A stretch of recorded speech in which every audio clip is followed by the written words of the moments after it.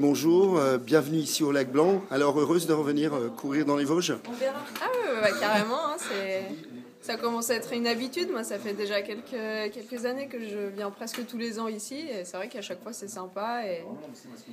et ça fait toujours plaisir de revenir. Ça se passe bien avec l'équipe de France, c'est une bonne ambiance? Ouais, ouais, bah carrément. Vous avez pu le voir là. euh, on s'entend toutes bien et c'est vraiment sympa. Et puis quand on vient faire des courses euh, où il y a une bonne ambiance détendue aussi, c'est encore plus sympa. Et objectif pour ces deux jours de course au Lac Blanc? Euh, ben, il y a déjà le géant que j'en ai quasiment pas fait cet hiver, donc c'est un peu une remise en route en géant. Donc là, c'est plutôt euh, un objectif euh, tranquille. Et c'est les deux courses de, slalom en Markstein. Après les deux courses slalom euh, Markstein, c'est gagner, faire 9 points, ce serait idéal. Ok, merci, ben, bonne course. Merci.